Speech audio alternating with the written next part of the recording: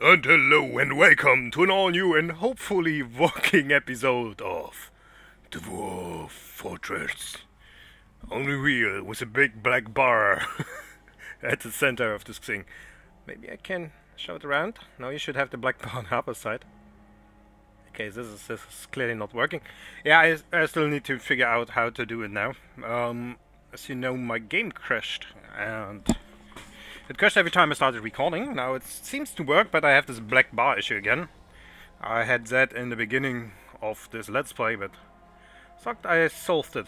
Wait, anyway, as you can see, uh, it happened once again. A giant tries to take our fortress, and this time it's the giant Asa Kwachiko Hostizuku. A gigantic creature resembling a human, almost unparalleled in size. Also known as cannon fodder. cannon fodder for our dwarves. So, what are we going to do this episode, you might ask? Well, first off, let's kill a giant. Or let him walk into one of our traps? Ah, we will see. You know what? I'm just putting... Um... Brummy. Norskin. And... Zeriofo. In here.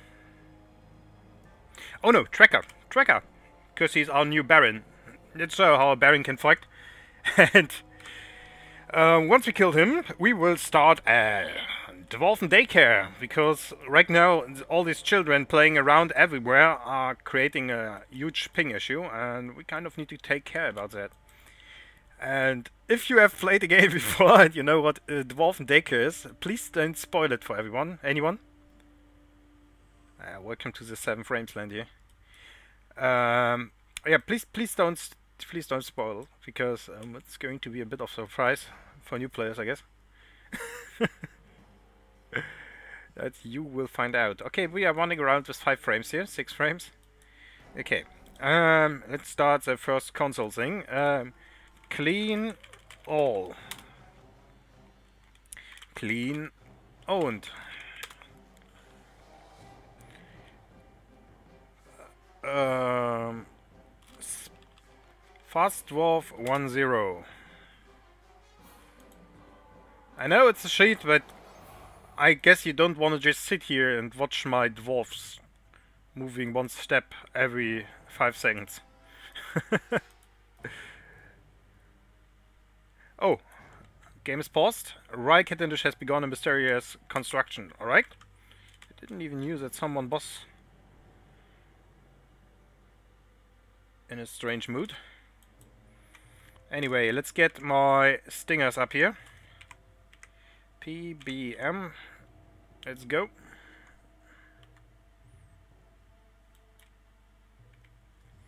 Yeah, the problem with the ping rate right now is, is that I have too many dwarfs and I dug too deep. And another problem is that I have this huge hole here and it's going to, if I'm looking at this, it's going to calculate everything all the way there down here. So I need to uh, put up floors um, into all of this. I already started, as you can see, but... Well, as you know, right now, we kind of have other problems. Oh, I ran out of copper.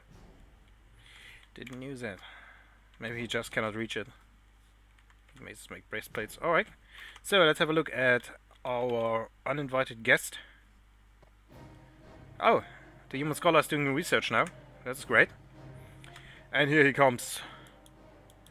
The giant. Asa Mincemeat, the breach of harvesting. Well, he doesn't sound too um, dangerous. Mr. Mint. Okay, let's have a look. So, Dwarven Daycare. Of course, children are really loud, so um, we want to have our children as far away as possible from our regular fortress. And that is why I am going to put the Dwarven Daycare down here, deep in the mines. And here we go. And just dig out this area. And dig out... Ah, damn it. Could be that this is not working. Okay, dig out this area.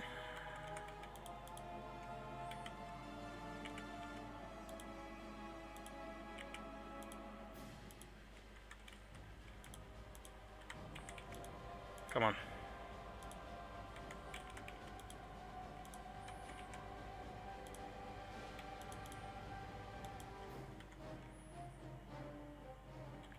This is wrong.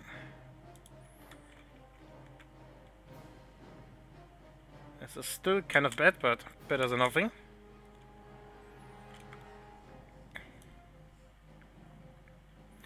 And here they are standing, our mighty warriors. Brummy, which is puking because he's standing in the sun. Norskin. And Trekker, the Baron of Smithsaved. Who's hopefully still watching the Let's Play. Otherwise, he is missing a lot. Okay, let's have a look at where he currently is. Oh, there's a dog skeleton. Litas limolinus. Alright. Didn't even notice that I lost the dog out there. I don't even know how. How are our jabbers looking? They are both trained. Nice. So I can soon start them using in a using them in the military. Just, I guess I just click around a bit here in the fortress until the giant arrives. Um, you of course know all about my arena. I guess I will just show arena fight in the end of this episode. Because I cannot do a Resera bone pick. Oh, nice. This sounds like something uh, an arena fighter should use. Yeah. Because as you can see, everything is going super slow because of our ping issue here. So we kind of need to do something about that. Why are why is all the stuff just lying around there?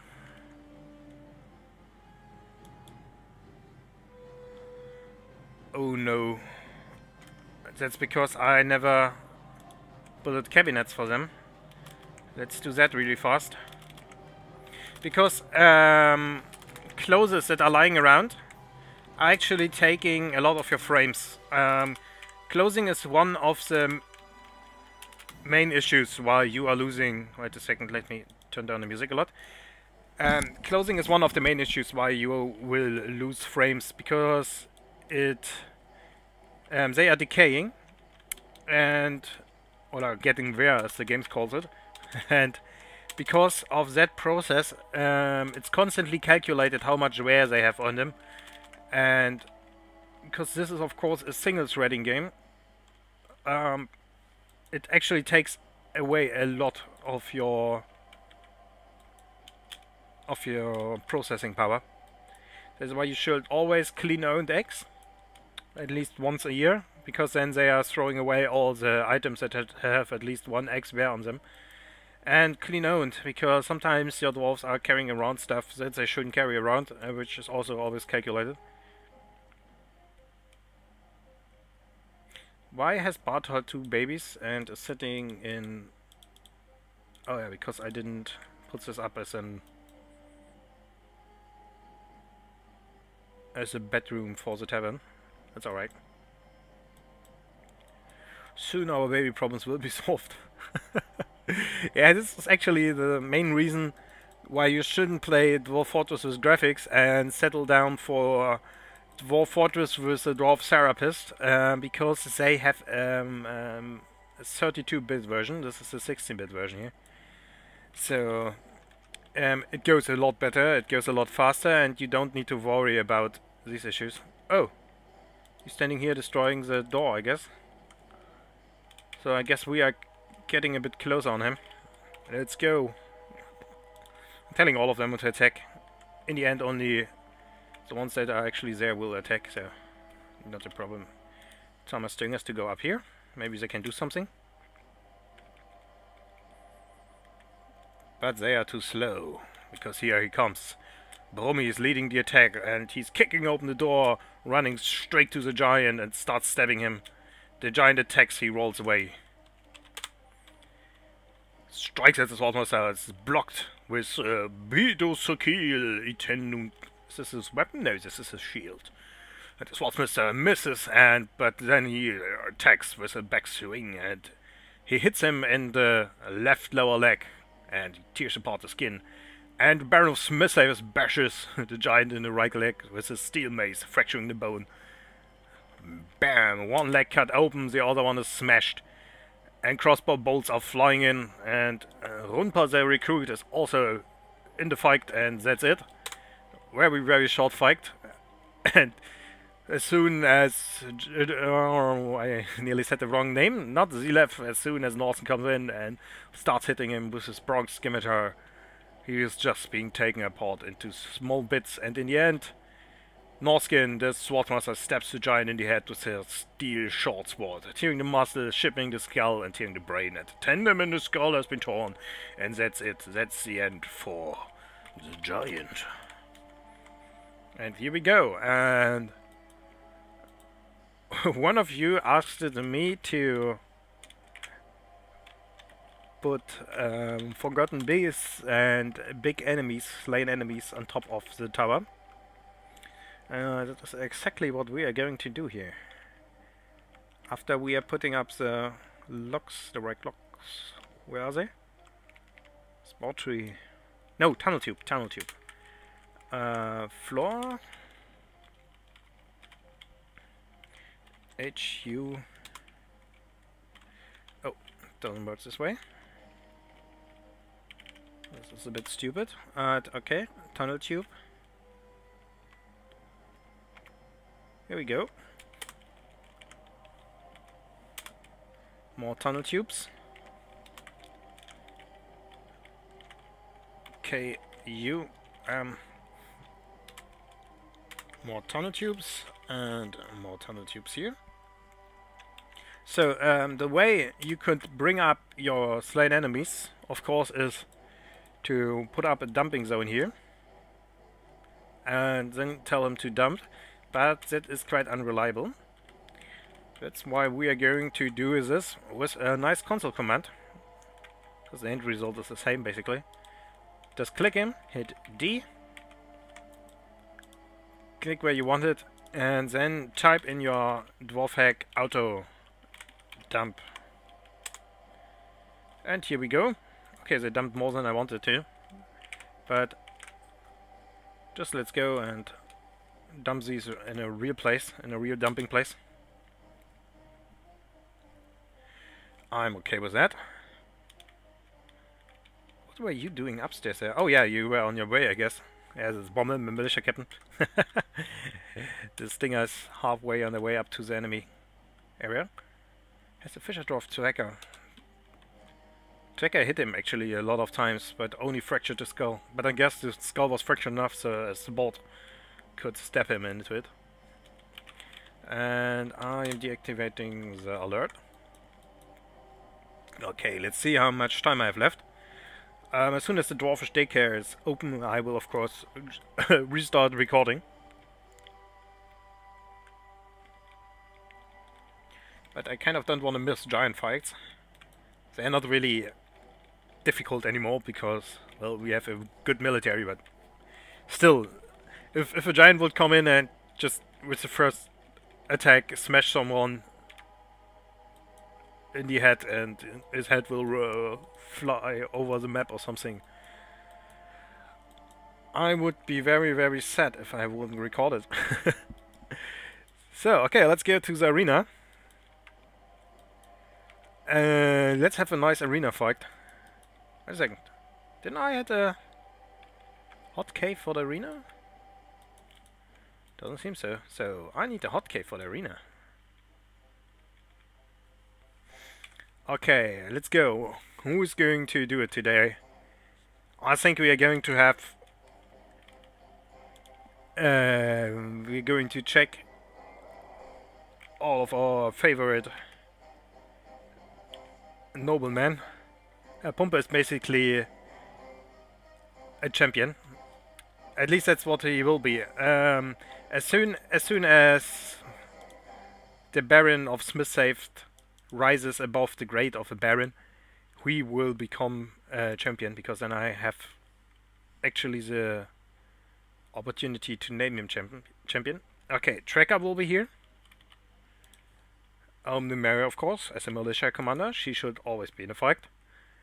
And one of our ex-lords, Norskin, anyone? Some of the stingers? The law. No, Raldefa really shouldn't be in any fight. So, this will be three of our dwarfs against five, six Crundles and four blind cave ogres. Uh, the blind cave ogres are okay enemies. If you, you don't have weapons, they are deadly enemies. Uh, so far, Herr Pumpe is the only one that isn't running around with a weapon. And here comes Nymeria. So where's Trickard?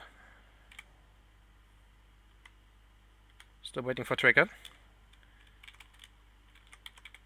It's quite easy to spot because Trickard uh, is actually now running around with uh, Baron. Looks. I made a mistake here, I just noticed. Normally there should be doors here. So let's remove these cage traps as soon as possible. But first off, let's close the arena. And here should be a bridge. Good thing I noticed. okay, pull this lever. And pull this lever. And let the fight start. Let the fight begin. Why was Boromir in a fight? Oh yeah, because he's still in a bad mood. Wait a second, he had a bath? Why? How? I didn't set up any dwarf tops, uh, bathtubs. I had a bath. I'm not contented. Are they just... I think they're just running in here to take a bath. Uh, Alright, I guess. that would explain why my soap is disappearing. Because my, my dwarves are actually bathing. And I didn't set them up for bathing. Why is he blinking? Oh, he's dizzy because of the sun. Oh, yeah, by the way, um, you don't know about these guys. Um, these are Crundles. Um, if you've ever seen South Park's episode with the crab people, this is basically what the cra- what the Crundle is. Um, they are really not um, hard to fight enemies. The problem is that they are running around in the caverns in really, really big packs, and sometimes they will attack. And if you have like a single, not a woodcutter, woodcutters have axes, but I don't know, a herbalist picking up mushrooms in the caverns, they can be really, really deadly. And I lost a lot of dwarves to Crundles. So if you have like a huge group of of Crundles running around, always try to kill them. Don't be like, oh yeah, it's just Crundles. I, I can totally ignore them. Why is the bridge not going up? It's the wrong lever, isn't it? Okay, I'll leave this one on, just so I know that this is actually for this bridge. It's also how I noticed right now is that I put it up in the wrong order. Okay, here we go. And it's off! And who will be the first one to fight the ogre? What? Oh no, it's just the cage. I saw the, the cage the cage strap snapped and I wasn't looking. Because that can happen sometimes. Oh! And Tracker is the first one to spot them, and I guess I need to set the others as attack these guys, please, too. Because it looks like uh, they are just not seeing them because of these pillars. But Tracker is of course running right in. That's what he does. Herr Pump is already seeking out the biggest of the ogres. Because that's kind of his thing. And Tracker is in the middle of the fight. Uh, this was just a giant fight. Uh, here, here we go. And the um, Tracker of Baron of Smithsafe, those injuries just don't scare me. And the Baron of Smithsafe stands up. The blind cave ogre misses uh, Baron, and he hits him in his left hand, bruising the muscle, and then he bashes right again after that, and his left lower arm, and he fracturing the he fractures the bone. And he the cave ogre attacks, but he's just jumping away, and now he's in the midst between four cave ogres, hitting again, and he's entering a state of I'm going to fight you all.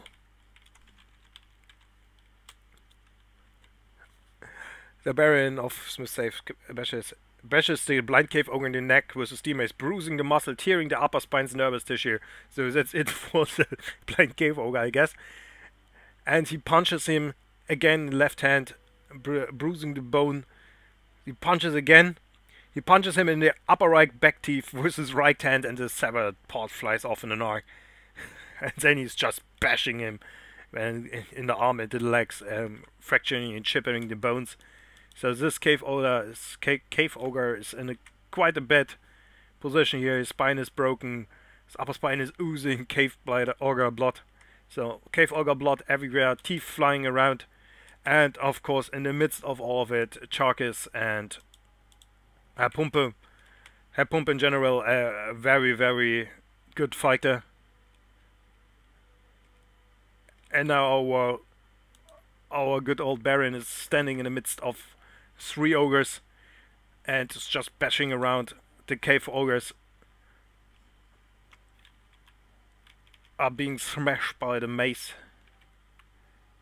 This guy lost his right foot and most of his attachments. Oh, that's actually a blind cave ogre baby.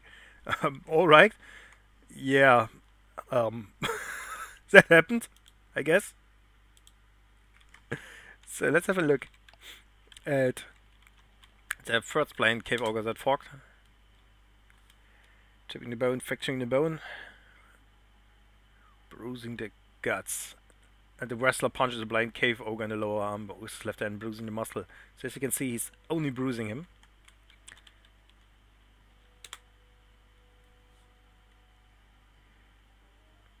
They all have fractured bones, and here the Baron of Smithsafe bashes the blind cave ogre in the right hand with his steel mace, jamming the bones through the right wrist muscle and shipping the right wrist bone. Oh, ah, those, those are gruesome wounds.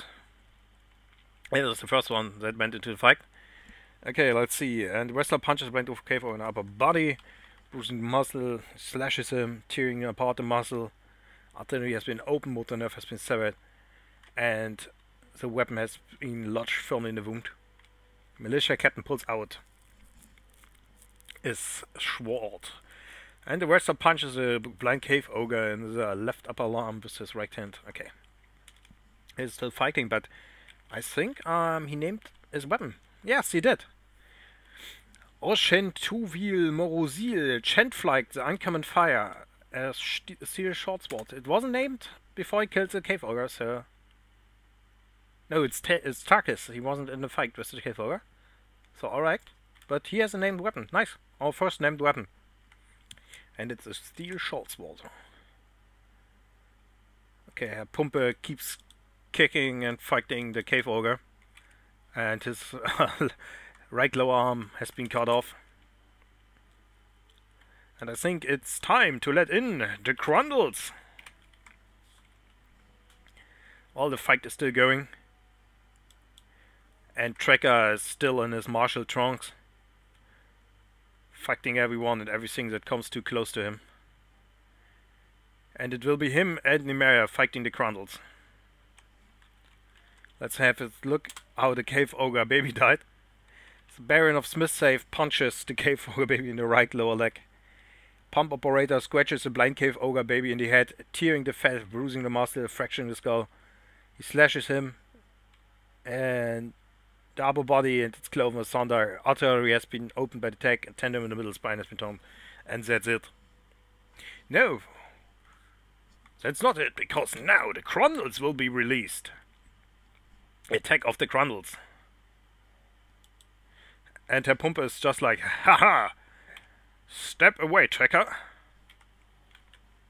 I know you are my Baron, but I will be the one that is defeating the Crumbles. Not the Crumbles, the Crundles! And Trekker's like, oh yeah, I'm stepping back. You do it with Nymeria. And also is Nymeria's leaving. Why is Nymeria leaving? Nymeria should be around here. I mean, a pump, a pumper will be totally be able to destroy all the Crundles.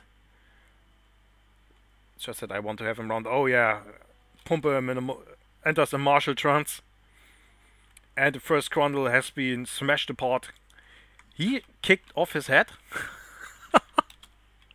the militia, no, the militia commander stabs the Crondle in the upper body with his steel spear, tearing apart the muscle, tearing apart the liver. Autonomy has been opened by the attack. The militia commander kicks the Crondle in the left foot with her left, and the injured part collapses. But that's not it. Um, it's this Crondle, I guess. Oh, also stepped in the head and with the steel spear. So the steel spear actually ended the Crondle, not her Pumper's fighting skill. But they're just tearing through them, as you can see.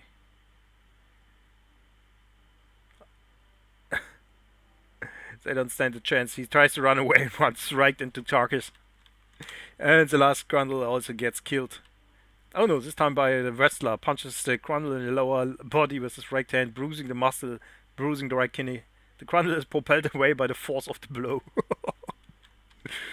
so, um, Herr Pumpe having a really good day. The wrestler punches the Crondle in the left hand with his right hand, and the injured part explodes into gore. Collapses into gore. Gets blown off and every time he he hits him, like here, the wrestler kicks the Crondle in the lower body, and uh, the Crondle is propelled away by the by the force of the blow.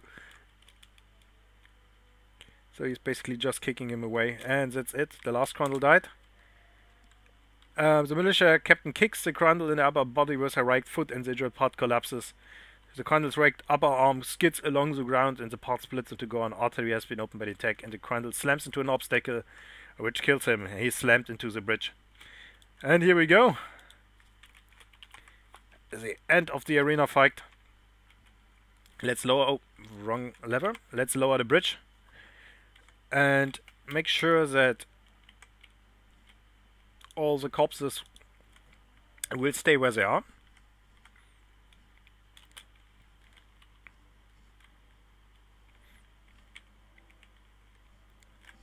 And next episode, we will have a Dwarven daycare service. Which means that with one pull of a lever, we can solve all of our frame rate issues. Which is not the way I wanted to do it, but it's the only way that is viable right now. I know, shame on me. But I couldn't do it in any other way. You can also, uh, by the way, set your arena as forbidden area, so you can be sure that your regular guys will not just run in and try to build something or clean something while there are still enemies in there. Or if you just want blood everywhere, it's also a viable option. Okay, um, let's just have a look around. There are still wild Crondles running around. But everything else... Oh, troglodyte baby! Everything else is caged. Oh, we need still need to train this Jabra. I will not train the cave crocodiles because I've been told that they will not attack if they are trained. So I will just release them in a cave crocodile area where I can be sure that um, it will, won't be frozen in winter. So, because this area is actually frozen in winter, so I need to dig out a new area, and I guess I will do it around here, like make a moat here, really deep, and then I put the great crocodiles in. But we will see. We will see how that works out in the next episode of Dwarf Fortress Stoneembrace.